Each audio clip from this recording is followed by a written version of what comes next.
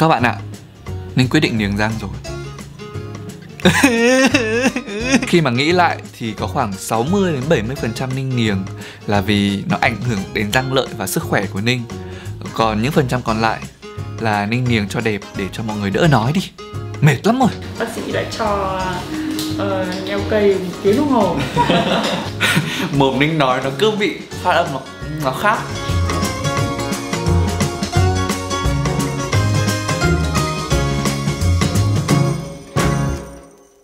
Xin chào các bạn, các bạn đang quay trở lại với channel Ninh Tito Các bạn thân mến, tục ngữ thì có cái câu là Cái răng, cái tóc, cái răng, cái tóc là góc con người.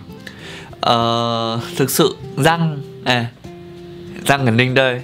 Ninh là một người không tự tin nhất về răng trên khuôn mặt của mình. Thực tế là có rất là nhiều các bạn subscriber Các bạn ấy comment vào rất nhiều, rất nhiều các clip Thậm chí là như tất cả các clip Là anh Ninh bị mó mà anh Ninh môi trề thế. Anh Ninh uh, đi niềng răng đi. Xong thậm chí nhiều bạn rất giỏi miệt thị luôn rất giỏi miệt thị người khác luôn. Kiểu như là cái thằng này ăn uống mà mồm cứ chu chu ra điệu đà vãi trưởng nhìn cái môi này mất thiện cảm không thể ăn uống được nữa. Kiểu kiểu như vậy. Nhưng mà thực tế đấy là các bạn nhận ra được cái vấn đề ở răng của ninh. Và ngày hôm nay thì ngoại trừ cái màu tóc mới như thế này không phải màu hồng nữa hôm nay là chuyển sang màu xám nâu khói rồi. Thì à, ninh sẽ có một cái gì mới để chia sẻ cho các bạn. Đó chính là về răng. Cái này thì phải để Ninh kể cho các bạn nghe một cái câu chuyện rất là nhanh như thế này thôi. Đó chính là ngay từ khi mà đi học cấp 1 Thì các bác sĩ khi mà khám ở tại trường của Ninh, trường cấp 1 của Ninh ấy đã bảo là Em bị khớp cắn ngược rồi, đi về bảo bố mẹ đi chỉnh nha đi thì uh, mình cũng có về kể với bố mẹ và bố mẹ bảo là hay đi niềng nhưng mà thực sự là hồi đấy sợ đau kinh khủng. Nhất quyết không niềng luôn cho đến khi lớn lên cấp 2, cấp 3 rồi đại học. Vẫn lăn tăn về niềng nha nhưng mà vấn đề ninh sợ nhất là nhìn vào những cái bạn mà đeo niềng mà mắc cài ấy cứ có những cục sắt ở trong răng rất là kinh. Và thậm chí ninh còn được nghe một vài bạn kể là ôi rồi ôi máu me mỗi lần chỉnh chiếc các thứ rất là kinh khủng. Nên là mình bị ám ảnh ấy và tiếp theo nữa là khi mà nhìn vào thì nó không thẩm mỹ lúc đấy sợ xấu vừa sợ đau vừa lại vừa sợ xấu nữa nên là lại không niềng. Và thậm chí nó còn kéo dài cái quá trình đấy cho đến khi mình đi làm nữa. Sau khi học đại học vào năm thứ ba đi uh, mình đi làm thì mình có nhận được một cái nhận xét là em bị kiểu cái khuôn miệng này cái khẩu hình này, này nó điệu quá. Và cái hàm răng của em nó không đủ đẹp để có thể lên hình. Kiểu như là thôi em đừng lên hình nữa ấy kiểu đấy. Mình rất buồn là mình cười nói ít đi. Đó uh, mãi cho đến khi mà ninh vào vtv không hiểu thế nào ninh cố gắng phấn đấu để trở thành một mc của một cái chương trình thiếu nhi trên vtv 7 thì uh, coi như là một lời đáp trả ok. Mình vẫn làm được. Chỉ cần mình tự tin bởi vì rõ ràng là nhiều người nhận xét nhiều người khác nhận xét là khi cười thì cũng duyên đi. Thế là mình cũng cố gắng để có thể uh, khắc phục lại những cái điểm yếu của mình. Và thực tế nữa là đến cho đến bây giờ ninh làm youtube đến gần 3 năm rồi thì mình vẫn làm với cái hàm răng này. Mặc dù đấy các bạn miệt thị như vậy tất cả các clip luôn ninh thậm chí phải cho vào bộ lọc để ninh đỡ phải đọc. Tại vì sao? Các bạn rảnh quá cơ ấy. Nhiều bạn cứ nghĩ là mình hoàn hảo quá nên có quyền đi chê bai người khác. Ừ. ờ nhưng mà thôi các bạn nói thì các bạn tự nghe thôi. Thì um, Ninh vẫn cố gắng làm cho đến tận bây giờ là YouTube là năm thứ ba rồi. Nhưng mà dạo gần đây tình trạng lợi của mình nó cứ có vấn đề là mình bị viêm lợi. Khi mà các bạn đánh răng nó bị chảy máu ấy thì đấy mình bị viêm rất là nhiều và thậm chí hay nhiệt miệng rồi rồi môi. Khi mà mình để ý thì càng ngày càng thấy nó chề ra. Cái phần dưới này nó bị đẩy ra ngoài nhiều hơn. Thì khi mà đi khám nha chu thì bác sĩ bảo là uh, cái vấn đề này là do bị khớp cắn ngược nên là nó đẩy cái hàm răng dưới ngày một nhiều ra đó, thì về lâu về dài sẽ không tốt. Bây giờ thì sẽ không có vấn đề gì nhiều lắm đâu, nhưng về lâu về dài thì sẽ không tốt. Đấy là lý do vì sao mà mình đã rất là suy nghĩ về cái chuyện niềng răng. Hiện tại trên thị trường thì Ninh có tìm hiểu là sẽ chia ra khoảng hai cái loại cơ bản ở một loại là niềng răng bằng mắc cài. Mắc cài thì có mắc cài sứ mắc cài kim loại này rồi mắc cài tự động các kiểu. Ờ, còn một loại thứ hai đó chính là niềng răng trong suốt hay còn gọi là Invisalign. Ưu điểm và nhược điểm nó như sau nếu mà các bạn niềng bằng mắc cài tất cả các loại mắc cài luôn thì một là cái thời gian các bạn phải chỉnh nha nó nhanh hơn. Thứ hai là chi phí nó rẻ hơn nhưng mà nó đau. Thực sự ninh cảm thấy là nhiều bạn vẫn chia sẻ là mỗi lần đi chỉnh hoặc là lần đầu tiên khi mà làm ấy nó đau kinh khủng luôn nó chảy cả máu luôn và thậm chí nó quét cả vào lợi liếc các thứ. Thì đấy đấy là vấn đề của mắc cài. Và mắc cài thì cũng không được thẩm mỹ nữa. Còn phương pháp còn lại đó chính là niềng trong suốt thì cái này đảm bảo tính thẩm mỹ rất là cao. Ờ, và các bạn có thể dễ dàng tháo lắp khi mà các bạn cần thiết. Bù lại thời gian nó sẽ lâu hơn và chi phí nó đắt gấp đôi đến gấp 3 lần cơ. Gấp 3 lần mắc cài cơ. Thực sự nó rất là đắt rất đắt luôn ý các bạn ạ. Ờ, nên là thực sự là sau khi mà suy nghĩ rất là kỹ về hoàn cảnh của mình thời điểm hiện tại đó chính là mình vẫn đang phải quay youtube thì uh, nếu mà niềm bằng mắc cài có thể nó sẽ ảnh hưởng đến việc ăn uống của mình. Uh, và khi mà lên hình thì ninh thực sự là nói thật với các bạn ninh cũng không tự tin. Nên là mình quyết định là sẽ niềng Invisalign mặc dù là nó rất đắt. Và cái quá trình mà mình bắt đầu tích tiền Nó đã bắt đầu từ cách đây uh, phải uh, gần một năm trước Nửa 7 tháng trước. Đó, thì mình bắt đầu tích tiền để có thể tự làm cái chi phí này. Thời gian vừa rồi thì nếu bạn có xem story trên Insta của Ninh hoặc là Facebook thì có thấy là Ninh chia sẻ một vài bức ảnh về vấn đề là Ninh bị sưng răng do nhổ răng khôn. Không phải là do cái răng Ninh nó nhú lên, nó mọc lên mà nó sưng. Xong rồi Ninh phải đi nhổ mà vấn đề là Ninh buộc phải dọn chỗ để điều chỉnh nha. Đây. Ninh phải nhổ hai cái hàm dưới này và nó sưng vèo hết cả lên như các bạn đang hình, nhìn hình ảnh đấy. Rất là đau. Rất là đau luôn tại vì răng Ninh mọc ngầm, mọc lệch xong rồi lại còn sát giạt dây thần kinh nên cả hai bên nó đều sưng rất là to. Thì nhưng mà cái vấn đề là clip ngày hôm nay là clip niềng răng còn cái câu chuyện nhổ răng khôn thì ninh nghĩ là ninh còn hai cái hàm hai cái ở hàm trên. Đợi đến khi nào ninh nhổ nốt thì Ninh sẽ chia sẻ cho các bạn hẳn một clip riêng về cái việc chuẩn bị rồi kinh nghiệm khi mà các bạn nhổ răng khôn các thứ như thế nào và có nên nhổ răng khôn hay không. Đó, còn ngày hôm nay thì vấn đề là clip niềng răng nên là bây giờ chúng ta sẽ đi đến một câu hỏi tiếp theo mà rất nhiều bạn quan tâm. Đó chính là, ninh niềng răng ở đâu và chi phí nó như thế nào? Như ninh đã chia sẻ thì niềng Invisalign nó rất là đắt. Trước khi mình đi khám thì mình có tham khảo trên thị trường thì nó dao động từ khoảng 90 triệu, 80 triệu, 90 triệu cho đến 100, 120, 140, 150 tùy vào cái mức độ các bạn cần phải chỉnh nha như thế nào và cái cơ sở các bạn chọn như thế nào. Thì uh, trong uh, 4 phòng khám Ninh đi khám thì uh, có một cái phòng khám mà Ninh đi theo chỉ dẫn của Tuân Phạm là D&D nha khoa D&D thì cái phòng khám này rõ ràng là chi phí khi mình đi khám với hàm răng của mình chỉnh nó không hề rẻ 140 triệu wow. nhưng mà cái thời điểm mà Ninh đi ấy, thì nó đang giảm giá 30% còn có 98 triệu.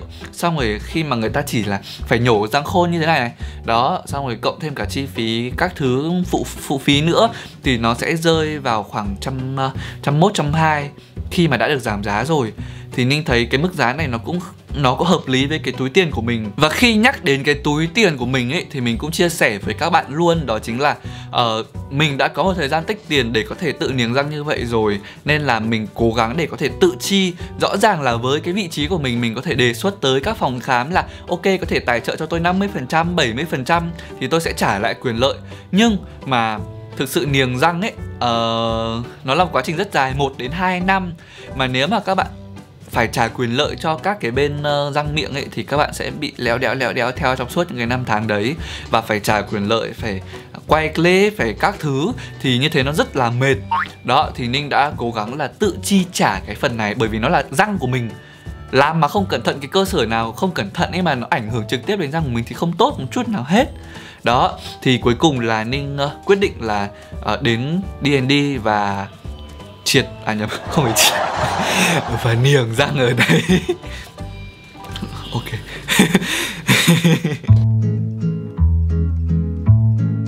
Uh, như ninh đi khám thì cái buổi khám đầu tiên ở đấy ấy, hôm đấy thì ninh không quay tại vì là ninh không không quyền lợi cái gì ở đấy thì ninh không quay. Thì uh, khi mà đi khám ấy bác sĩ có làm một cái uh, gọi là vệ sinh răng này sau đó thì làm một cái có tên là clean check. Thì cái này tức là họ sẽ dùng những cái máy họ quét xung quanh răng hàm trong hàm ngoài cả răng để nó tái tạo lại một cái mô hình 3D cái răng của mình. Và sau đó thì bác sĩ sẽ làm một cái thao tác đó chính là liệt kê cũng như là chỉnh dần dần những cái răng để mình biết được là mình cần phải niềng bao nhiêu lâu. Và cái thời gian đấy thì mình phải đeo bao nhiêu khay. Đó thì uh, riêng cái chi phí để làm clean check đấy ninh nhớ không nhầm là 7 triệu trong cái gói đấy là 7 triệu. Đó thì nó cũng không rẻ lắm mà chỉ là ngồi ấy ấy thôi. Và ngay sau khi mà clean check xong thì ninh đã phải chỉnh à gọi gọi, gọi là ninh đã phải trị cái viêm lợi nhưng mà ninh chia sẻ ấy, ninh đã bị viêm lợi mà nên là ninh phải chỉnh cái đấy trước khi niềng. Và khi mà ninh đồng ý với cái lộ trình clean check đấy như các bạn đang nhìn này nó sẽ đẩy vào các kiểu chỉnh chỉnh để cho nó đều thì ờ, mình mới bắt đầu uh, đặt khay. Và khi đặt khay thì ninh phải đặt cọc 50% trước để họ uh, đặt cái khay từ bên ship từ bên Mỹ về chứ không phải là khay làm từ việc ở Việt Nam. Đợi đến nay là cũng 4 tuần rồi đấy. Đó thì trong cái quá trình 4 đến 5 tuần đấy ninh đã đi nhổ răng để cho nó kịp không sưng nữa để mình có thể bắt đầu quá trình niềng dọn chỗ cho quá trình niềng thì đấy là một vài cái mà chuẩn bị tất nhiên không nói về tiền nhá tiền mình chuẩn bị trước đấy rồi. Đó thì cái việc mà đi làm răng thế này ninh cũng khá là háo hức. Tại vì là ninh cũng không biết là nó thay, có thay đổi quá nhiều về cái gương mặt của mình không. Nhưng bác sĩ bảo là thì uh, nó sẽ cái xương hàm dưới của mình nó không có vấn đề gì nhiều. Chỉ là mình kéo nó vào trong một chút để môi nó đỡ chề thôi. Thì ninh hy vọng là sau khi mà niềng xong ấy thì cái nụ cười của mình nó sẽ không bị thay đổi quá nhiều nó đẹp hơn. Chứ nó không mất riêng đó, thì ngày hôm nay đã là đến ngày sau khi chờ đợi thì đến ngày ninh đi lấy khay rồi. Ninh cũng khá là háo hức với cái khay này luôn, tại vì là nghe nhiều bạn bảo là khi mà đeo vào nó cấn lắm, những ngày, những cái khay đầu tiên nó cấn lắm, nó khó chịu lắm không biết nó sẽ như thế nào. Và bây giờ thì hãy cùng đến phòng khám với ninh nhá. Các bạn biết gì không? Ninh vừa mới đăng một cái story lên insta và thông báo là mình sẽ đi niềng thì có một bộ phận rất đông các bạn vào ủng hộ bảo anh ơi hôm trước em cũng nghĩ là anh nên đi niềng rồi anh ơi em bảo anh niềng từ lâu rồi. Nhưng mà ninh đọc được những cái tin nhắn này thì thấy rất là buồn cười. Bạn bảo là đừng anh ơi em thích hàm răng này của anh lắm cười lên đáng yêu chết đi được. Uh, em biết là story này đang nửa tiếng trước và bây giờ anh đang đi trên đường rồi hoặc đang chuẩn bị đi nhưng mà anh ơi xin anh đừng. Thế luôn ý uh, em để ý anh lúc nào cũng cười lộ hàm răng cô tay lắm. Thật ra thì à, khi mà niềng thì ninh cũng tiếc tại vì ninh cũng không biết là nó sẽ thay đổi như thế nào. Và sau khi mà niềng xong thì um, mình sẽ còn cái nụ cười đấy không? Nhưng mà ninh nghĩ là bởi vì vấn đề sức khỏe răng lợi của mình thôi nên là mình quyết định sẽ làm. Và hy vọng là sẽ có một cái kết quả tốt đẹp và sẽ vẫn là ninh của các bạn thôi. Các bạn ạ hiện tại thì phòng khám đông quá xong mình vẫn đang phải ngồi đợi và mình phát hiện ra là đây cái đống khay của mình đã về rồi đây các bạn. Các bạn nhớ ninh vũ trung này. Đó mình sẽ niềng 58 khay tất cả. Oh, thực sự là cũng lo phết đấy. Với cả ở đây thì uh, lại đây là những cái kiểu gắn đi răng những cái mấu ấy gắn lên răng. Trong cái lúc ngồi đợi ấy, lâu này tự dưng ninh lại nhớ đến cái phim Mr Bean ấy. Ông ấy ngồi không có ai đợi hết ông ấy nghịch. Ông ấy nghịch mấy cái như thế này. Nhưng mà mình có kinh nghiệm là mình sẽ không nghịch giống như Mr Bean. Hay nhỉ xem đi xem lại cái phim đấy vẫn hay thật đấy. Cái màu tóc mà ninh mới nhuộm lại này là cái màu nâu khói. Thì nó khử bớt đi cái ánh hồng cam mà đợt trước mà ninh nhuộm ấy. Thì ninh thấy cái màu này nó làm sáng da hơn. Các bạn bây giờ thì uh, trước khi vào thì ninh sẽ phải vệ sinh lại răng bằng việc lấy cao răng sau đó đánh bóng. Nhưng mà ninh nghĩ là ngày hôm nay thì ninh sẽ uh, quay một vài cảnh thôi sau đấy thì mình uh, nó voi ở để cho đỡ ảnh hưởng đến quá trình bác sĩ làm. Và giới thiệu với mọi người đây là bác sĩ phòng phòng người sẽ đồng hành với ninh. Ninh phải xin phép lại mới quay được đấy. Bác sĩ đã cho uh, nheo cây một tiếng đồng hồ Trong quá trình làm thì Ninh được gắn các attachment bằng những cái keo và chiếu đèn để nó làm cái gờ cho cái khay nó được chắc hơn và nó di chuyển răng hơn và bên cạnh đó thì bác sĩ cũng hướng dẫn cho mình cái cách để có thể sử dụng cái này cũng như là những cái lưu ý nữa Quá trình này cũng mất khoảng 30 đến 45 phút đấy. Thì sau khi gắn xong thì nó sẽ như này, không thấy hàm cái đâu. Là trong đúng không? Nhìn kỹ mới thấy. đây, nhá. Cái khay của em này à, tổng cộng 58 khay đây là khay số 1 thì có một khay hàm trên một khay hàm dưới mình sẽ lựa mình sẽ nhìn đầu tiên là mình sẽ cần nhìn gương nhưng mà sau đó thì chắc là sẽ không cần đâu. Mình sẽ lựa thấy cái khay nó vừa ôm khít với các răng à. rồi thì mình ấn nhẹ xuống. Ấn ở phía trước sau đó lựa dần dần ra phía sau. Theo hướng từ theo hướng ấn xuống. Và ấn từ trong ra ngoài. Rồi khay nó ôm hút vào ra. Đó, nghe hết tiếng cực chưa? Ôm Hết rồi đơn giản Đây là cái hộp khay Invisalign của mình Thì đây là cái khay đầu tiên Bây giờ mình sẽ tập đeo lần đầu tiên trong cuộc đời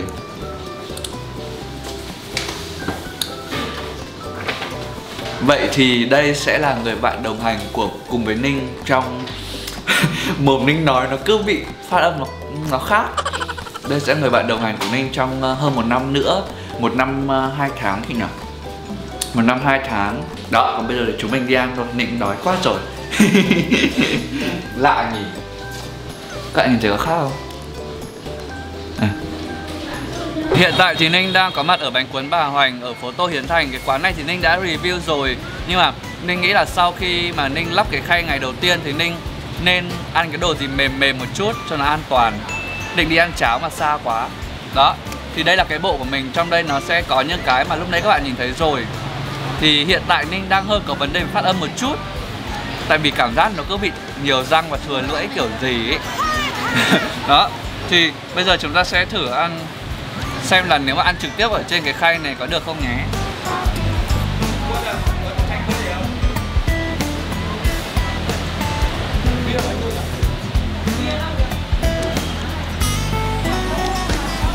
Cảm giác răng răng các bạn nó không tiếp xúc được với thức ăn ấy nó hơi khó nhưng mà anh nghĩ là ổn. Ăn được. Nó hơi lợn cợn lợn cợn. Ở cái phần lợi thôi. Nhưng mà nghĩ là ăn được đấy. Nói chung là ngày hôm nay thì ờ, Ninh có giới thiệu lý do vì sao Ninh lại phải niềng răng và cái ngày đầu tiên mà Ninh niềng như thế nào. Bác sĩ có bảo là tối nay thì nó sẽ hơi bị gọi là uh, ê, hơi ê một chút. Thì uh, chịu khó một hai ngày đầu thì nó sẽ quen. Và cái việc phát âm cũng như vậy. Thì hy vọng là nó sẽ sớm trở lại bình thường. Và Ninh chắc chắn là khi mà ăn ở trên Youtube thì Ninh sẽ cởi khay ra để ăn cho nó thoải mái. Còn riêng về vấn đề là D&D các bạn có nên làm không? Thì hiện tại Ninh vẫn chưa thể chắc chắn được với các bạn. Bởi vì hôm nay mới là những cái trải nghiệm đầu tiên của Ninh trong cái quá trình miếng thôi. Thì Ninh hy vọng là với cái kết quả tốt mà hơn một năm nữa chúng mình sẽ review lại thì uh, các bạn sẽ có được cái nhìn khách quan xem là có nên làm ở D&D hay không còn bây giờ thì à, chắc là Ninh phải kết thúc clip này rồi. Nếu mà bạn nào quan tâm đến vấn đề răng miệng của Ninh như thế nào thì hãy lên Instagram story hàng ngày của Ninh để xem nhé còn bây giờ thì xin chào và hẹn gặp lại. Bye bye.